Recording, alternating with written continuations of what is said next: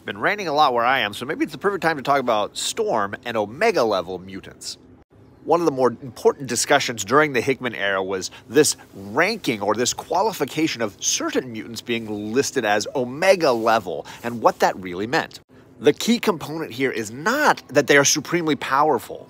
Instead, what Omega level really means is that they have an ability that can't be registered at its highest peak. So in the case of somebody like Jean Grey, she would be a mutant who is omega level in her telepathy, meaning her ability to speak with people using her mind has no upper level.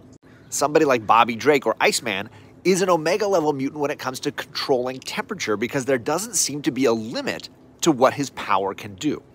There are several really important mutants who make the list as omega level for one ability or another. I've discussed a few of them in some of the previous videos we've made, including two of the Resurrection